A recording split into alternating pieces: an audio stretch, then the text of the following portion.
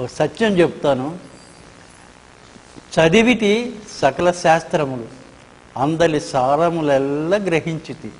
అంత విజ్ఞాన నేత్రము విప్పి చూడ తెలుసుకుంటేనే నాకేమి తెలియదు ఇది మహాపురుషులు అందరూ కూడా యోచించిన విధానం మార్గం. ఆ మార్గాన్ని నేను నడుస్తున్నానని చెప్పి భావిస్తున్నాను.